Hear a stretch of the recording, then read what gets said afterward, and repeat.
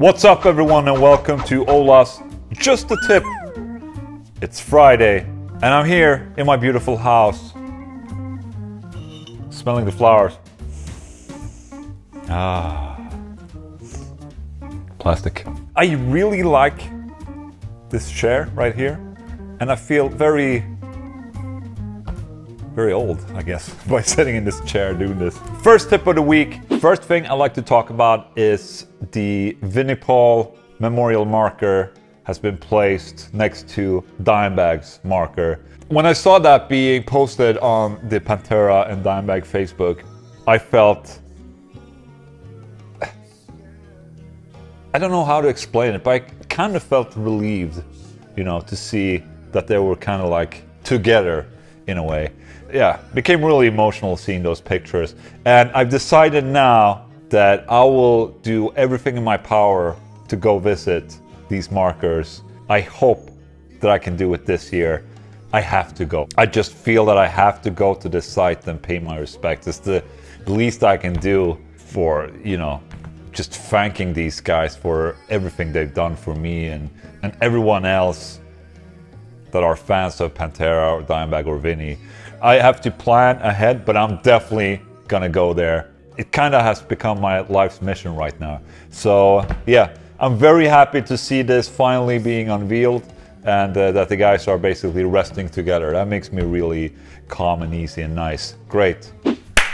So on a less serious note, I was browsing through Thomann, the website where I purchase most of my music related gear thingies. I saw that Framus has just released the Framus Dragon again. I don't know if I recall it right, but just a year ago, I think that Framus announced that they would stop producing amplifiers, which I thought was very sad because they had the Framus Cobra, which is a sick ass amplifier. If you haven't tried it, oh, you know what to do? You go look up my video. I have one of my first videos is of a Framus Cobra. I think it sounded absolutely kick-ass through my microphone. Sometimes I have a lucky break and my amp demos actually sound pretty good. And the Framus Cobra is one of those instances where it just, you know, everything just smacked like that. So go check out that demo if you haven't. I think it's from like 2009 or 2010 or something like that. I think it's actually one of the first amplifiers I borrowed, and then I would borrow a shit ton of amplifiers to later, you know, test out all the amplifiers on my channel.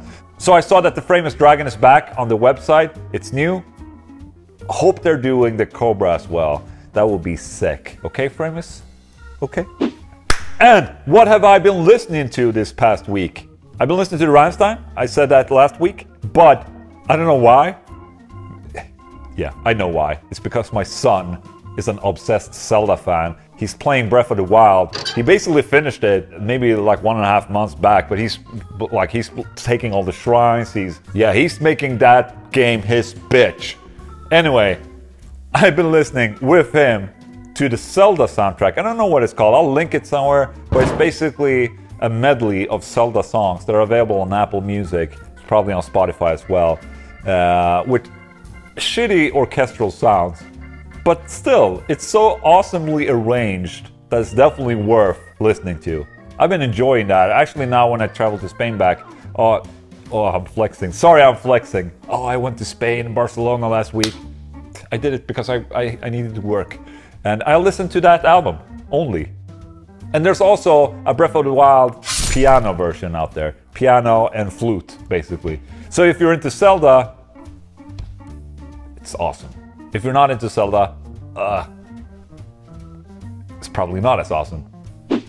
Anyway, that's all I wanted to say. Uh, yeah, I'm happy.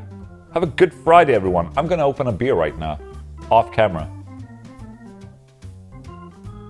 Or maybe I'm just lying. It's actually Monday. I'll probably go grab a Coke Zero or something.